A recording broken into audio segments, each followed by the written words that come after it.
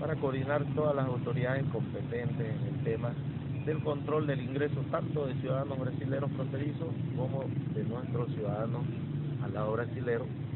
Hay ciertas medidas de bioseguridad que se tienen que cumplir y ciertos requisitos que son muy sencillos, pero que se deben controlar.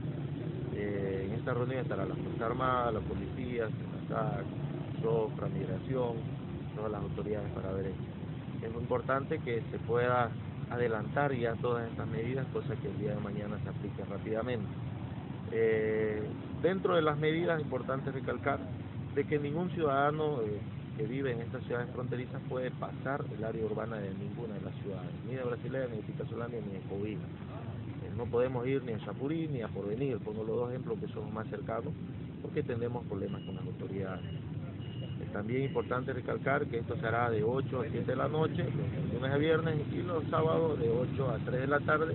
Se hace en este sentido para que una hora antes se cierre la frontera y que todos puedan retornar a sus hogares dentro de los horarios permitidos dentro del decreto que tenemos en la ciudad.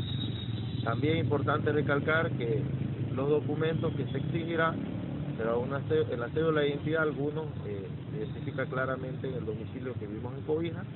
Los que no tengan ese requisito también pueden usar una, un servicio básico, una factura que sea su nombre, cualquiera, luz, agua, teléfono, cable, cualquiera eso también dará la veracidad. Y los que no tienen y vienen hace poco tiempo de otras ciudades pueden tener un contrato de alquiler que identifica que ellos son moradores de la ciudad de Cobija.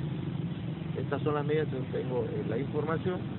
Eh, lo que permitirá el ingreso del tema de violencia son los barbijos, muy sencillo.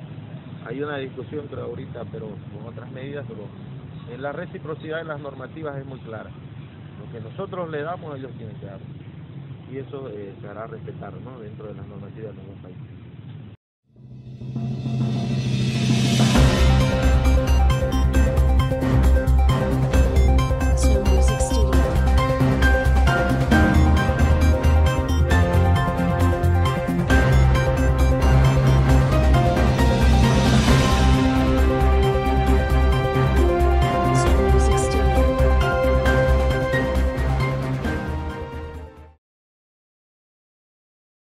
El Tribunal Supremo Electoral ha diseñado siete medidas de bioseguridad para proteger tu salud y el voto en las elecciones generales. 1. Habrán más recintos electorales para evitar las aglomeraciones. Verifica tu recinto entrando a la aplicación Yo Participo del órgano electoral.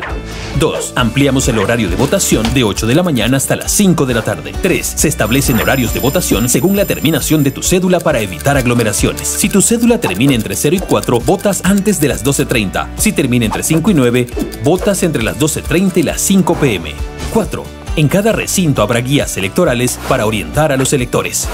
5. Se elegirá a los jurados solo entre personas de 18 a 50 años de edad. Recibirán material de bioseguridad. 6. La capacitación a jurados será en grupos reducidos con medidas de bioseguridad. El reforzamiento se hará de manera virtual por radio y televisión. 7. El material electoral será manejado con las medidas de bioseguridad apropiadas. La democracia la hacemos todos.